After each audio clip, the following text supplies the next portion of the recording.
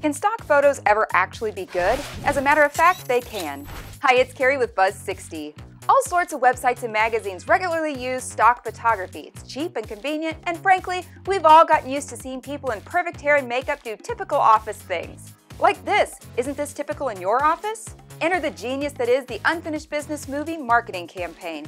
They have created some hilarious office stock photos of stars Vince Vaughn, Dave Franco, and Tom Wilkinson, and shared them with the world. They're like regular stock photography, only better. I thought through some potential article ideas to go with the pictures. Sexual harassment in the workplace. Am I guilty? Thinking is hard. I'm glad we have this window so I can watch birds. This picture would be great next to the headline, Someone's got a case of the Mondays. Or, vaccinated so you can hug without fear of disease. These images are free for editorial use, so you can have a field day with them.